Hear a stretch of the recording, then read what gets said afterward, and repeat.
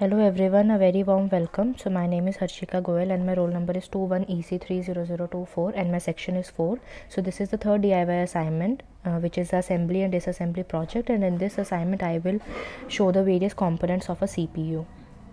CPU and I will show you the various parts involved in it. So it is a CPU and there are the screws which I will open now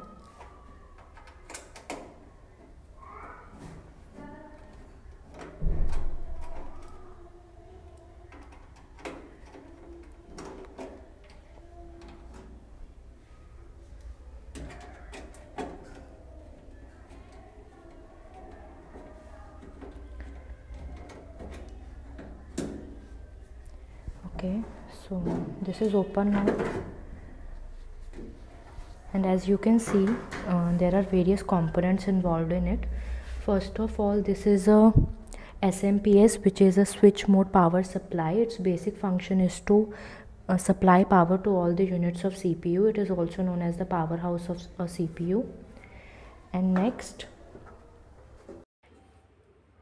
okay so now I will open these two screws. Uh, so to show the other part.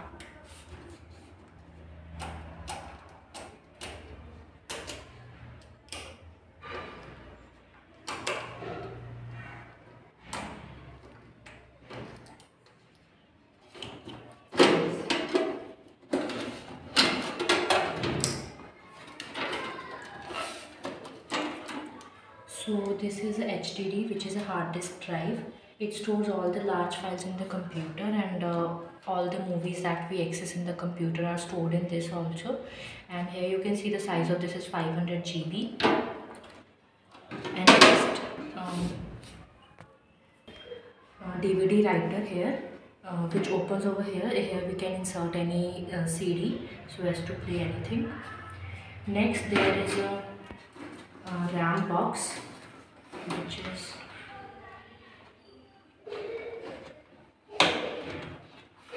so this is a ram. Um, the higher the ram the more faster the computer will work.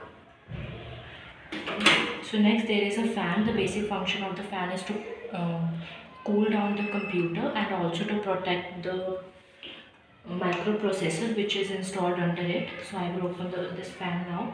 In order to open this fan we need to rotate these four um, plug over here and it will deinstall them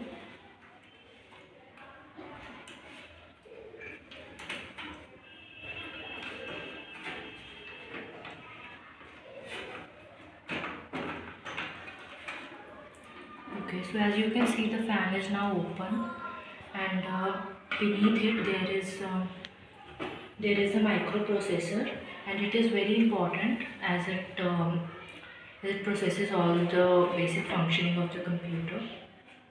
So it is actually installed in this disk drive and here you can see this is the motherboard of the computer.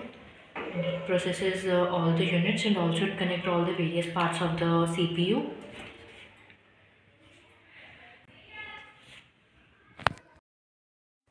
So now I will assemble everything.